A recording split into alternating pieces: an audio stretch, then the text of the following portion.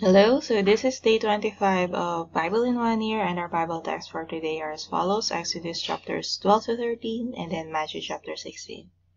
Alright, so to begin, uh, let's pray. Our Father in heaven, we thank you for another day that you've given us to be able to live our purpose, to serve you, and to be able to grow as Christians. And Lord, I thank you for all the blessings that you've given us, for the provisions, for the guidance, and for the wisdom, and of course for the salvation, Lord. And um, we ask for forgiveness for all of our sins, for all of our mistakes and our shortcomings, uh, especially in serving you. May you guide us and help us to be able to be uh, more Christ-like, to be more, you know, like Christians, and to be able to be more like Jesus, and may we be able to obey your commandments, your words, and so uh, guide us, Lord, uh, show us the way, uh, guide us to the right path, and help us to grow uh, better as Christians. And we thank you for the trials, the challenges that allow us to grow spiritually. And of course, um, we thank you for all of those trials and for your continued presence in our lives. We know that everything happens for a reason, and we know that in everything that happens, there it's either there's a re- lesson that you want us to learn, or there's something that you want us to uh, realize and would help us in our growth as Christians. and Lord, um, we uh, pray for again the guidance, wisdom, and uh, strength, revival, uh, guidance, provision of needs for all your children, for our workers, for our pastors, the church workers, uh, Bible school teachers, uh, church members, and uh, area leaders, and of course, uh, missionaries, and also uh, enlighten us as we read your word for today. May you show us the message and may we be able to apply them in our daily lives, O Lord. So thank you, and this we pray in Jesus' name. Amen. Alright, so Exodus chapter 12.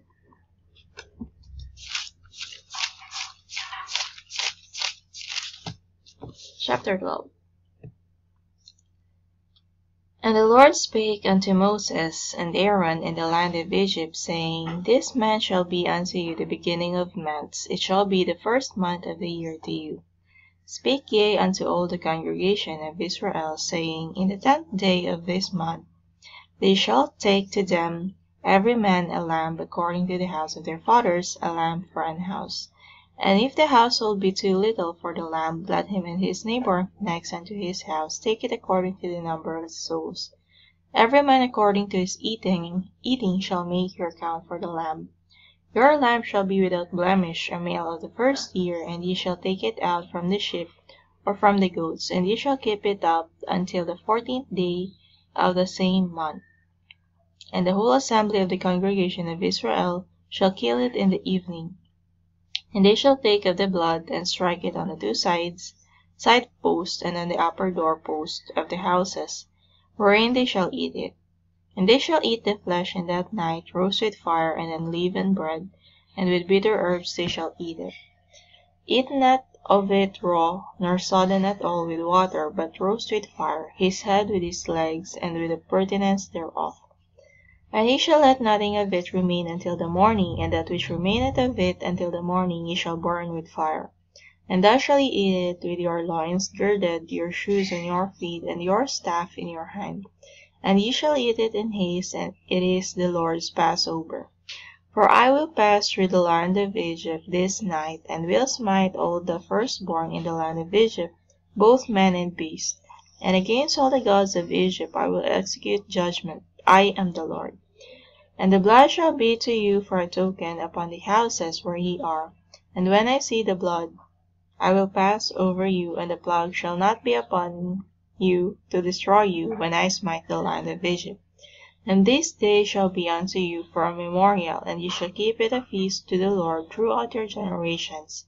Ye shall keep it a feast by an ordinance forever. Seven days shall ye eat unleavened bread, even the first day ye shall put away leaven out of your houses. For whosoever eateth leavened bread from the first day until the seventh day, that soul shall be cut off from Israel. And in the first day there shall be an holy convocation, and in the seventh day there shall be an holy convocation to you.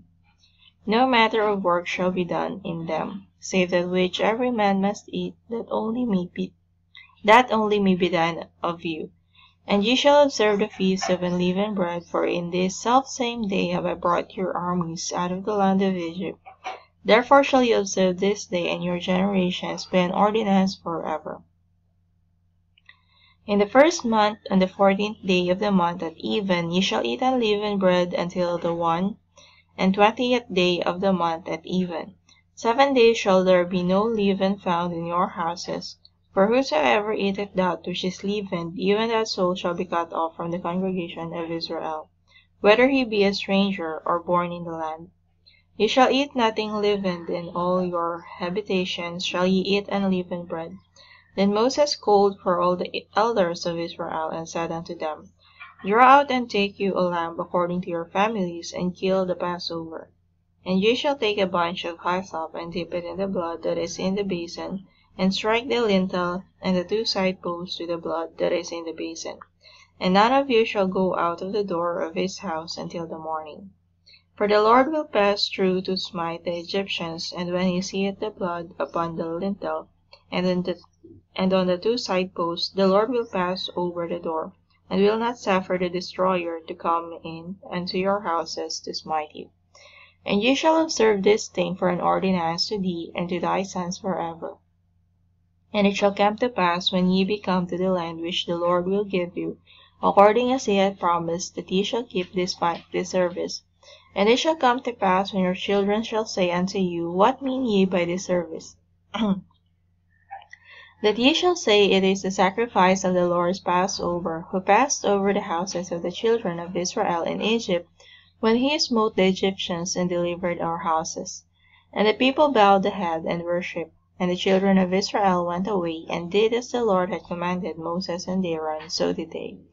And it came to pass that at midnight the Lord smote all the firstborn in the land of Egypt, from the firstborn of Pharaoh that sat on his throne, and to the firstborn of the captive that was in the dungeon, and all the firstborn of cattle.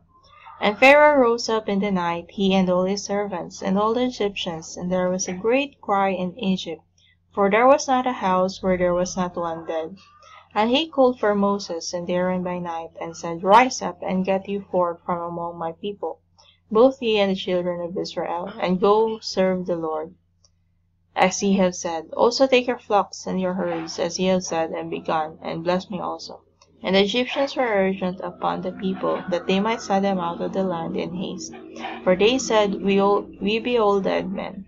And the people took their dough before it was leavened, their kneading troughs being bound up, and their clothes upon their shoulders. And the children of Israel did according to the word of Moses, and they borrowed of the Egyptians jewels of silver, and jewels of gold and raiment. And the Lord gave the people favor in the sight of the Egyptians, so that they lent unto them such things as they required, and they spoiled the Egyptians. And the children of Israel journeyed from Ramses to Succoth, about six hundred thousand on foot, there were men beside children. And a mixed multitude went up also with them, and flocks and herds, even very much cattle. And they baked unleavened cakes of the dough which they brought forth out of Egypt for it was not leavened, because they were thrust out of Egypt, and could not tarry, neither had they prepared for themselves any victual. Now the sojourning of the children of Israel who dwelt in Egypt was four hundred and thirty years. And it came to pass at the end of the four hundred and thirty years, even the selfsame day it came to pass, that all the hosts of the Lord went out from the land of Egypt. It is a night to be much observed unto the Lord for bringing them out from the land of Egypt. This is that night of the Lord to be observed of all the children of Israel in their generations. And the Lord said unto Moses and Aaron, This is the ordinance of the Passover, there shall no stranger eat, there, eat thereof. But every man's servant that is bought for money, when thou hast circumcised him, then shall he eat thereof. A foreigner and an hired servant shall not eat thereof.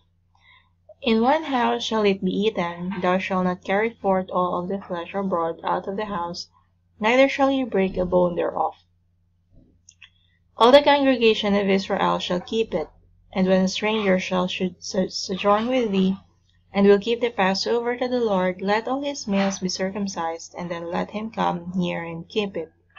And he shall be as one that is born in the land, for no uncircumcised person shall eat thereof. One law shall be to him that is home born, and unto the stranger that sojourneth among you. Thus did all the children of Israel, as the Lord commanded Moses and Aaron, so did they. And it came to pass the selfsame day that the Lord did bring the children of Israel out of the land of Egypt by their armies. Exodus chapter 13 And the Lord spake unto Moses, saying, Sanctify unto me all the firstborn, what, whatsoever openeth the womb among the children of Israel, both of man and of beast, it is mine. And Moses said unto the people, Remember this day in which ye came out from Egypt, out of the house of bondage, for by strength of the hand the Lord brought you out from this place. There shall no leavened bread be eaten. This day came ye out in the mount in the month Abib. And it shall be when the Lord shall bring thee into the land of, of the Canaanites, and the Hittites, and the Amorites, and the Hivites, and the Jebusites, which he sware unto their fathers to give thee, a land flowing with milk and honey, that thou shalt keep this service in this month. Seven days thou shalt eat unleavened bread, and in the seventh day shall be a feast to the Lord. Unleavened bread shall be eaten seven days, and there shall no leavened bread be seen with thee. Neither shall there be leaven shall be leaven seen with thee in all thy quarters.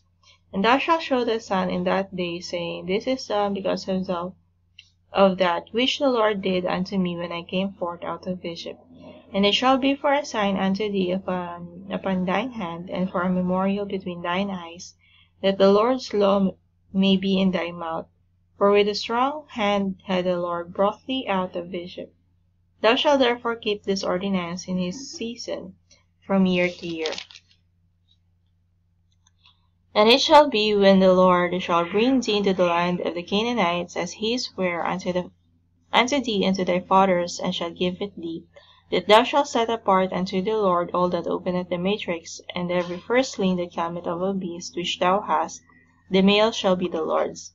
And every firstling of an ass thou shalt redeem with a lamb, and if thou wilt not redeem it, then thou shalt break his neck.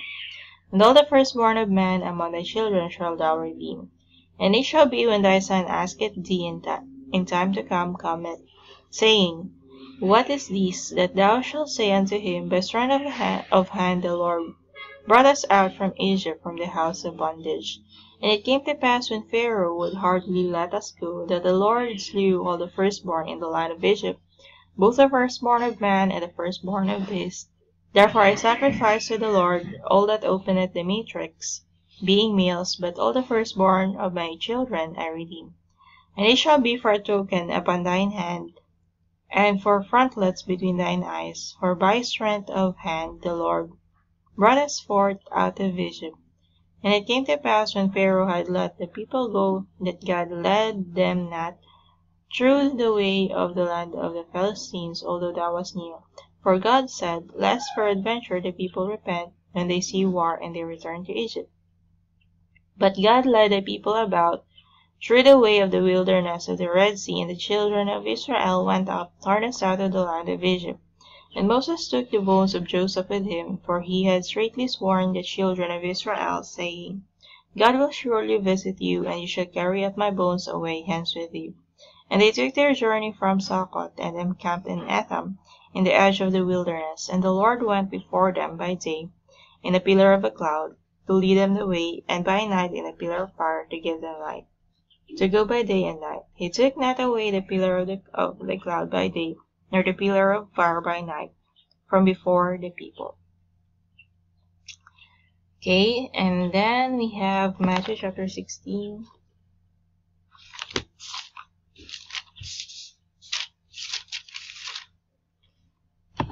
Matthew chapter 16 The Pharisees also with the Sadducees came, and tempting desired him that he would show them a sign from heaven. He answered and said unto them, When it is evening, ye say, It will be fair weather, for the sky is red, and in the morning it will be foul weather today, for the sky is red and lowering. O ye hypocrites, ye can discern the face of the sky, but can ye not discern the signs of the times? A wicked and adulterous generation seeketh after a sign, and there shall no sign be given unto it, but the sign of the prophet Jonas. And he left them and departed. And when his disciples were come to the other side, they had forgotten to take bread. Then Jesus said unto them, Take heed and beware of the leaven of the Pharisees and of the Sadducees. And they reasoned among themselves, saying, It is because we have taken no bread. Which when Jesus perceived, he said unto them, O ye of little faith, why reason ye among yourselves, because ye have brought no bread? Do ye not under, do ye not yet understand, neither remember the five loaves of the five thousand, and how many baskets ye took up, neither the seven loaves of the four thousand, and how many baskets ye took up? How is it that ye do not understand that I spake it not to you concerning bread, that ye should beware of the leaven of the Pharisees and of the Sadducees? Then understood they how, the, how that he bade them not beware of the leaven of bread, but of the doctrine of the Pharisees and of the Sadducees. When Jesus came into the coast of the Caesarea Philippi, he asked his disciples, saying, Whom do men say that I, the Son of Man, am? And they said, Some say that thou art John the Baptist, some Elias, and others Jeremiah or one of the prophets. He saith unto them, But whom say ye that I am? And Simon Peter answered and said, Thou art the Christ, the Son of the living God. And Jesus answered and said unto him, Blessed thou art thou, Simon Barjona, for flesh and blood hath not revealed it unto thee, but my Father which is in heaven. And I say also unto thee that thou art Peter, and upon this rock I will build my church, and the gates of hell shall not prevail against it. And I will give unto thee the keys of the kingdom of heaven, and whatsoever thou shalt bind on earth shall be bound in heaven, whatsoever thou shalt loose on earth shall be loosed in heaven. Then charged he his disciples that they should tell no man that he was Jesus the Christ. From that time forth began Jesus to show unto his disciples how that he must go unto Jerusalem, and suffer many things of the elders and chief priests and scribes, and be killed and be raised again the third day. Then Peter took him, and began to rebuke him, saying, Be it far from thee, Lord, this shall not be unto thee. But he turned and said unto Peter, Get thee behind me, Satan, thou art an offence unto me, for thou savourest not the things that be of God, but those that be of men. Then said Jesus unto his disciples, If any man will come after me, let him deny himself, and take up his cross, and follow me. For whosoever will save his life shall lose it, and whosoever will lose his life for my sake shall find it. For what is a man profited if he shall gain the whole world and lose his own soul? Or what shall a man give in exchange for his soul? For the Son of Man shall come in the glory of his Father with his angels, and then he shall reward every man according to his works. Verily I say unto you, there be some standing here, which shall not taste of of that till they see the Son of Man coming in his kingdom. Right, so that ends the Matthew chapter 16. So a bit of reflection or something to share. So in Exodus 12 to 13, basically, uh, yung last plague that happened in Egypt, which is uh, the death of all the firstborn of the Egyptians, uh, man of men and of cattle. But uh, God uh, provided a commandment to all the children of Israel to uh, do a sacrifice and then to put blood on the uh, doorpost. Okay? And so when God or the destroyer went to Egypt that, that night at midnight, they passed over all the houses of the Israelites, so they did not uh, what they call they did not kill the firstborn in any of the Israelites. And only the Egyptians, since, you know, they don't have that command from God to put a sacrifice and put blood on the, uh, on the door, on the doorway. So at that night, uh, there was, you know, crying, wailing, in the land of Egypt because in every house there was at least one person dead, you know, the firstborn. And it's the same at Pharaoh's house. His heir, his firstborn, also died. And so that same night, he called uh, Moses and Aaron and then told them to go. You can go, okay? And so, in a way, um, it's a picture of for on the part of the Israelites, it's a picture of God's protection. That if you are the children of God, uh, God would protect you from harm, and if He's going to put out a punishment to all the wicked people, they uh, He would not, uh, in a way, involve you in those punishments, unless you deserve it, unless you deserve a punishment. He Maybe if an Israelite disobeyed that command, then of course the destroyer would have gone to that Israelite's house, saw no blood on the doorway, and of course the firstborn in that house would have to be killed. Okay, but at that point, all the Israelites were uh, obedient, and so they did according to God's command. Okay, so um, in a way, as Christians, we also strive to uh, obey God's commandments, especially those that we read in the Bible. When Jesus uh, started teaching in the New Testament, of course, uh, he summarized the all the laws and all the commandments into two: love the Lord, sorry, love the Lord your God, and then the second would be love your neighbors as you love yourself. Okay. And so we have that. And then Exodus chapter 12 to 13, basically it's the beginning and the the background about the Passover, the Israelites uh, celebrate the Passover, uh, which is basically that scene, you know, in Egypt when Jesus or the destroyer uh, passed over the Israelites' houses because they saw the blood on the door, on the doorway. Okay, and then they only smote the Egyptians, okay, the firstborn of men and of cattle and then um, we also read that basically they stayed in Egypt, you know, from the time of Joseph until the time of Moses, uh, 430 years. And then Joseph uh, made them promise to that when they go out of Egypt, they would bring his bones with them, and so they did. Moses did bring the bones out of Egypt. And then God stayed with them, you know, in their journey to the land of, you know, to the promised land, the land flowing with milk and honey. Uh, basically, during the day, uh, God follows them as, uh, what they call this, a pillar of smoke or something like that, and then a pillar of fire at night to provide them with light. Okay. Um, or pictures. Okay. Uh, basically, when it comes to the Egyptians or the pharaohs on their part, um, it's a picture of uh, non-believers. It is only at a certain point when they lose something very valuable, you know, their firstborn, their child, their children, that they get to realize, you know, even after going through the nine plagues, they did not believe that God exists, that uh, the Israelites are asking the Pharaoh to let them go because God has commanded it. Uh, during the nine plagues, even if they saw that, you know, whenever they request that, you know, uh, pray to your God and tell him to stop the flag, and then Moses would uh, talk to God and do that, and then God would stop the plague, but then they would not let the Israelites go, they would continue to keep them in Egypt. Okay. So at that point, you can see the stubbornness of uh, unbelievers, uh, the wicked people. They think that, you know, oh, okay, let me pray to the God of Moses and request him to stop this trial or problem that I'm going through.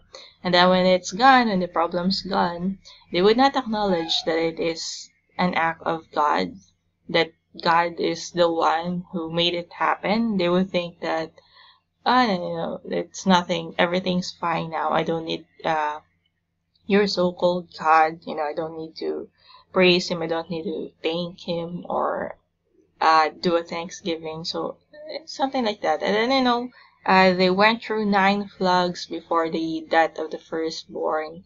And it is only at that point when they lose some, someone they love that they really, uh, you know, let the people go. Okay, but then of course in the coming chapters we'll see that uh, the the Egyptians actually run after the Israelites, you know, to kill them, and then that's when the parting of the Red Sea happened. Okay, and so you know sometimes Sometimes non-believers would have that moment of, oh, maybe I should believe in this God, you know, because He's doing all these things, giving me all these problems. But the moment I pray, uh, the problem gets solved.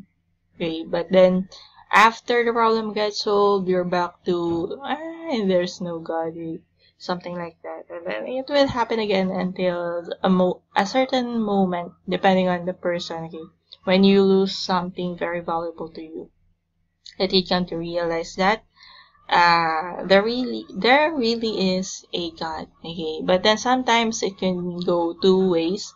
One is you now believe in God and then you acknowledge His presence and that you get to know Him and make Him your Savior. Or the other way, what happened to the Egyptians is that they became resentful. You know you know they lose they lost their children. So they're instead of owning up their mistakes you know it, it's their what do you call this? Technically it's their mistake because if they already let the israelites go during the first plague or even before the first plague then it wouldn't have happened right? If they only believe that there is indeed uh, a god that takes care of the israelites then it wouldn't have happened but they just have to wait until the 10th plague and then they lose their children. Okay, so that's another way uh, which, in which people, non-believers, uh, tend to go when they when something extreme happens to them. Okay. And then in Matthew chapter 16, we see, um, you call this, the Pharisees and the Sadducees uh, tempting Jesus, and then the disciples. Uh, what do you call this? Uh, Jesus reminded his disciples not to, uh, what do you call this? To beware of the leaven of the Pharisees and of the Sadducees. And they thought he's, he's talking about bread.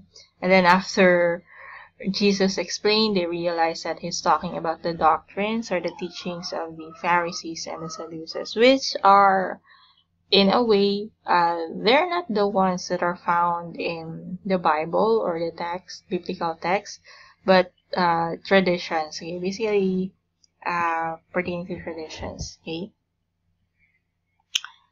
Um, there are a few that happened here, but yung pinakang point dito, I think, would be, If any man will come after me, let him deny himself and take up his cross and follow, me. For whosoever will save his life shall lose it, and whosoever will lose his life for my sake shall find it. A lot of non-believers uh, do not like, I think, the doctrine that Jesus Christ uh, was teaching. Of course, you know what what did he say? For whosoever will save his life shall lose it, and whosoever will lose his life for my sake shall find it. Basically, um, self-denial. Okay, you can't do the things that you want. Okay, because the things that you want are evil, wicked. You know, earlier or in chapter 15, uh, things for out of the heart proceeded proceed evil thoughts and murders, adulteries, fornications. Basically, uh, we sin. Okay, if we're going to let ourselves uh, do the things that we want, most likely we're going to be led astray. We're going to sin against God. Okay, that's why we have to, you know, deny ourselves for whosoever will save his life shall lose it. If it do what we want, then we're going to sin against God. And then if we're not going to accept God as our Lord and Savior, we're not going to repent, then, you know, we're going to lose our lives. We're going to hell. But the other sentence, and whosoever will lose his life for my sake shall find it. Okay. When you become a Christian, uh, you're trying to be more like Christ and so you're following his teachings, his examples, and what his teaching is for us, for Christians, to go out, share the gospel, help those in need, okay? And so, uh, those are the things that we must do. But then not everyone is up for that. Not everyone would like to do that. They don't like to be bothered with such uh, activities. And so it's it will be hard for them for to do that. Okay. Whosoever will lose his life for my sake shall find it. Because these people who are striving to be Christ like who are serving God will definitely have their reward in heaven. Okay, so whosoever will lose his life here on earth, they're going to deny themselves, you know, their wants. Uh, basically, it's not really denying because when you accept God as your Savior uh, and you repent of your sins, you're going to have a new uh, you know, what they say is you're going to be a new creation and your heart will be changed. You will no longer desire those uh, undesirable things, those uh, sins, and mistakes. You're going to desire uh, things that you know would please God. Okay, your desire would be to serve God, to be able to do His will, you know, to preach the gospel, to share it with others, and uh, to help the other people, especially the lost ones. Okay, so I think that would be the main the main point. And then another thing I'd like to share is that I've heard some some people or I don't know some groups are claiming that God, uh, sorry, that Jesus Christ did not actually make a claim that he's the Son of God, but here in Matthew chapter 16, you can definitely see that he did say that he is the Son of uh, Son of God, the Son, thou art Christ, the Son of the living God. Okay basically some uh, groups or some people. Basically jesus christ has been called the son of man and also the son of god because technically he's the son of god but then he what do you call this he took the form of a man so that he could redeem our sins. And so that's why he's called the son of man. Okay. Okay so some also uh, some bible do not have certain verses on them. Certain verses have been removed, especially those verses that says Jesus Christ is the Son of God. Okay, so uh, it would be best if you don't use those Bible versions. Uh, for us, we use uh, King James version. Uh, there are no missing verses. okay, and then also uh, later. Okay, so that's it, I guess, for today, and may you have a blessed day ahead. Thank you for joining Bible in One Year. Hopefully, you're also reading your own Bible. Thank you, and God bless.